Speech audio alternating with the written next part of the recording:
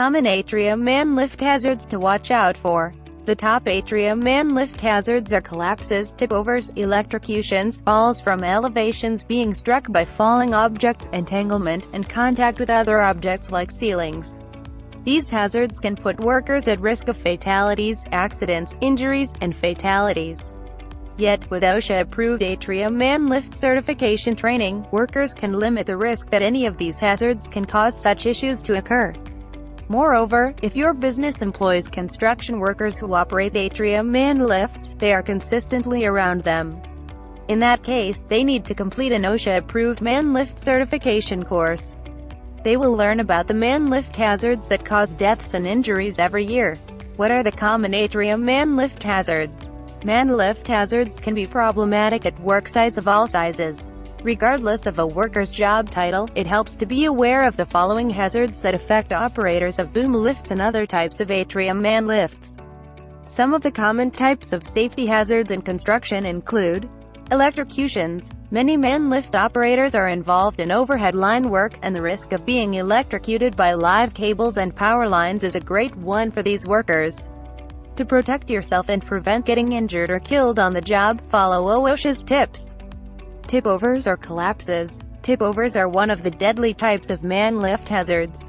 They are frequently caused by handling and improper traveling of the lift. Sometimes they are caused by inadequate mechanical inspections and pre-start vehicles. Falls from heights. The sheer size of atrium man lifts often goes unnoticed until employees begin working. When they are improperly trained, falls can occur.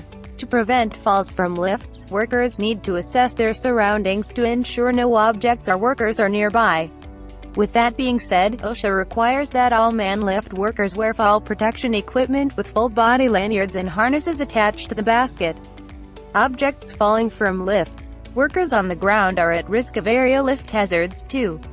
They're sometimes killed and injured by objects falling from the man lift bucket. It often occurs when lifts carry objects larger than the platform itself.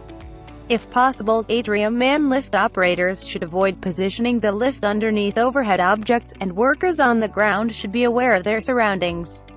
They need to avoid working underneath or near the lift when raised. Ejections from lift platform. Ejections are one of the most dangerous types of man lift hazards. They often happen when a lift comes into contact with another object like a sign or moving vehicle next to a highway or inadequate stability assurance. Before operating an atrium lift, workers need to ensure that set-on pads is on a level surface of solid ground. Entanglement. Ropes can be tangled up when lowering or raising an atrium man lift platform. If entanglement occurs, an operator can get caught up in these ropes. It can put the operator at risk of a serious fatality or injury. Additionally, workers can avoid these common safety hazards in construction by staying mindful of all cords, wires, and ropes. For any pieces of safety equipment to be useful in preventing these atrium man lift accidents, workers need to complete comprehensive lift training to prepare them fully. If you'd like to learn more, visit our website https colon slash slash innovativereach.com slash or contact us at 319-573-3488.